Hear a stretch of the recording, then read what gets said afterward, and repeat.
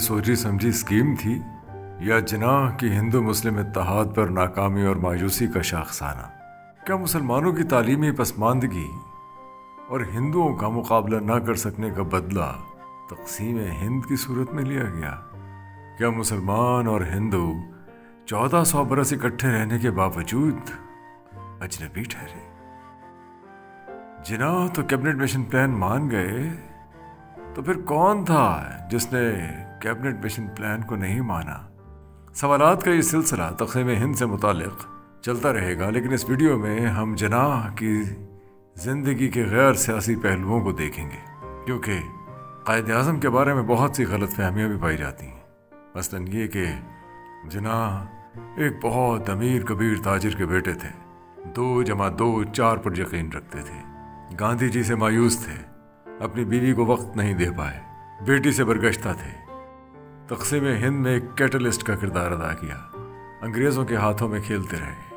अंदाज़ अतवार और ज़बान मिजाज में अंग्रेज़ थे। किसी से हाथ मिलाना पसंद नहीं करते थे। बहुत सी ऐसी बातें जिनाह के बारे में वाबस्ता हैं जो उनके नाकदीन करते रहते हैं। लेकिन हकीकत यह है कि जिनाह कायद अजम मोहम्मद अली जिना एक बहुत अपराइट ऑनेस्ट स्ट्रेट फॉरवर्ड और ग्रेट स्टेट्समैन थे। एक अजीम सियासतदान थे। मैं जिस जिनाह को जानता हूँ, वो ना तो कोई अमीर ज़्यादा है, जैसा कि सरोजनी नायडू समझती थी और ना ही स्ट्रीट लाइट में पड़ता हुआ बच्चा। अलबत् लिंकन सिंह से बैरिस्ट्री करने के बाद कराची आए तो मायूस होकर बॉम्बे चले गए। तीन बरस बॉम्बे में आर्जी मैजिस्ट्रेसी की नौकरी भी करना पड़ी। जब पंद्रह सौ माहवार की नौकरी मुस्तकिल होने का वक्त आया तो जनाब बोले, इतनी रकम तो मैं रोज़ कमाना चाहता हूँ।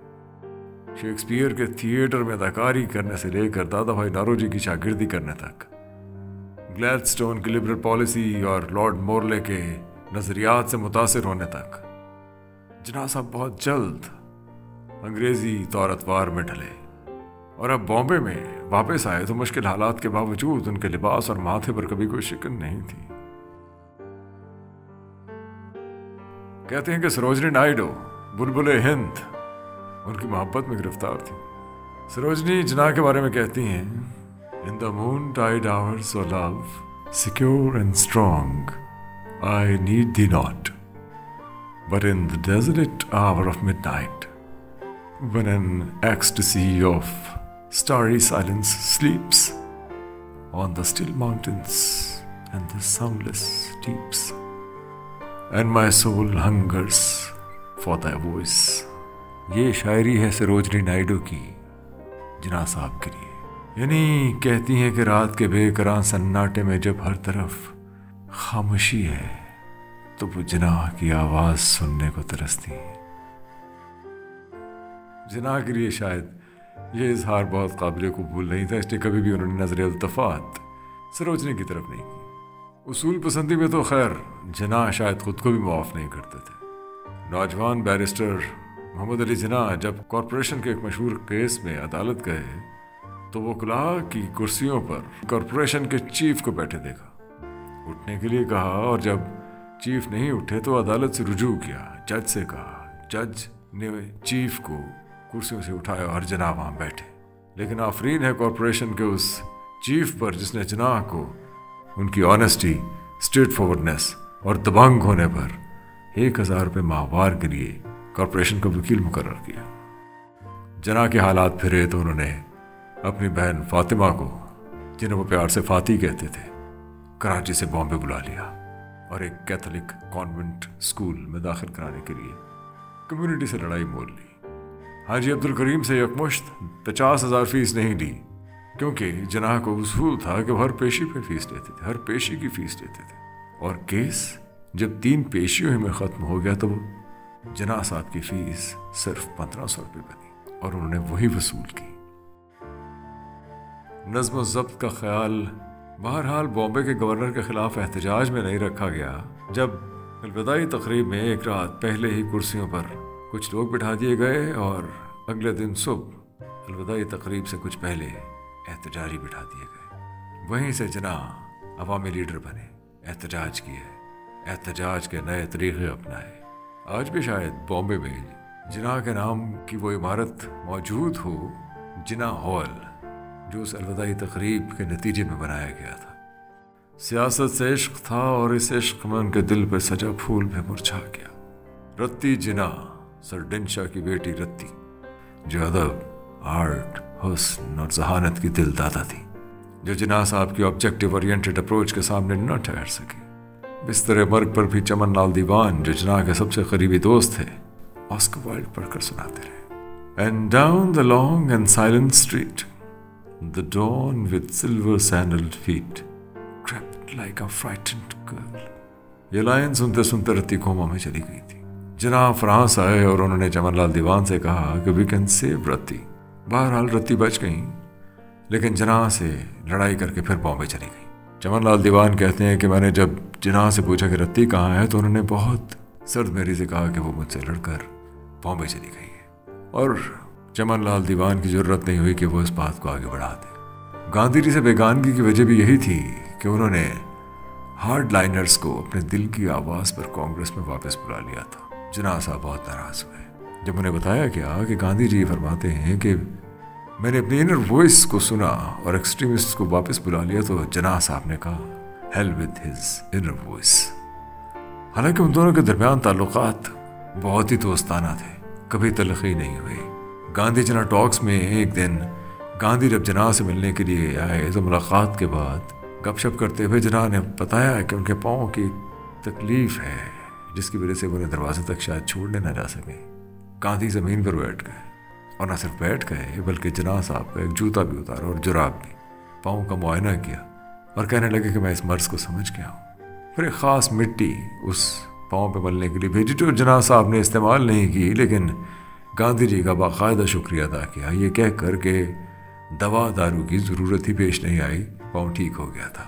मुस्लिम लीग की सदारत के दौरान जब कुछ लोगों ने जना साहब को मशवरा दिया कि आप ट्रेन के थर्ड क्लास में सफ़र किया करें। जैसे गांधी अवाम के जज्बात की आबियारी करते हैं, आप भी करें तो जना साहब ने दो टोक अल्फाज में कहा, उन्हें ऐसे मशवरे हर किस ना दिए जाए, क्योंकि वो अपने पैसों से फ़र्स्ट क्लास में सफ़र करते हैं. जना की बेटी दीना अपनी वफात से कुछ अर्सा पहले पाकिस्तान आई और यहाँ उनका पुरतपाक इस्तकबाल किया गया। बचपन में वो जना साहब को प्यार से ग्रे वुल्फ कहती थी। और सिनेमा जाने पर जिद करती। जना को बेटी से बहुत मोहब्बत थी। दरअसल दीना की परवरिश अपने ननियाल में पारसी घराने में हुई और पारसी ज़ाहिर है, इनफरादी आज़ादी के बड़े हामी थे। दादा भाई नौरोजी से लेकर रत्ती चिना तक सभी लोग इनफरादी आज़ादी के हामी थे। जब दीना ने गैर मुस्लिम वाडिया ख़ानदान में शादी का कहा तो जना साहब को सियासी धचका लगने का ख्याल आया। हालाँकि खुद उन्होंने पारसी ख़ानदान ही में शादी की थी, लेकिन उस ज़माने में एंग्लिसाइज एलिट में यूँ शादी कोई गैर मामूली बात थी नहीं। लेकिन अब जब दीना बॉडिया ने गैर मुस्लिम ख़ानदान में शादी करने की बात की तो हालात वो नहीं थे। हिंदू मुस्लिम तफरीक और मजहबी बुनियादों पर भारत की तकसीम की दाग पेल पड़ गई थी, या पड़ने वाली थी। कहते हैं कि जब उनकी बेटी चली गई तो जना साहब अपने कमरे में सिगरेट फूंकते रहे। सिगरेट पे सिगरेट फूंकते रहे। दो दिन तक कमरे से बाहर नहीं आए। क्योंकि जना साहब अपने जज्बात, अपने ज़ाती जज्बात किसी पर मुनकशिफ नहीं करते थे। बस कमरे में टहलते रहे, सिगरेट फूंकते रहे और ये कहते रहे it's all right it's all right it's all right लेकिन एक बात तय है कि उन्हें अपनी बेटी से बड़ी मोहब्बत थी। जब खाकसार के एक शख्स रफ़ीक साबिर ने चाकू से उन पर हमला किया और जना साहब ने उसकी कलाई पकड़ी तो कुछ जख्म जना साहब की ठोड़ी पर आए। घर आकर उन्होंने सबसे पहले अपनी बेटी को फ़ोन करके बताया कि वो ठीक है। दरअसल खाकसार। तमाम दूसरी जमातों की तरह से ये समझते थे कि जना अंग्रेज़ों के हाथों में खेल रहे हैं और खाकसार कम्युनिस्टों की तरह जमीयत हिंद की तरह तकसीम हिंद के खिलाफ थे।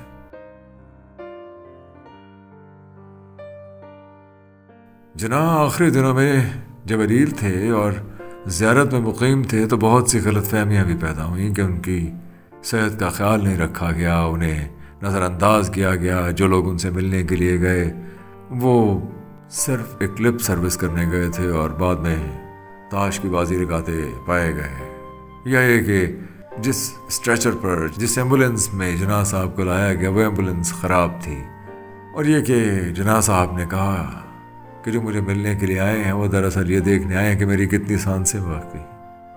डॉक्टर राही बख्श समेत मुख्तलिफ़ डॉक्टर्स को बीमारी समझ ही नहीं आई। ऐसा कुछ नहीं था। या शायद ये मुकम्मल सच नहीं है।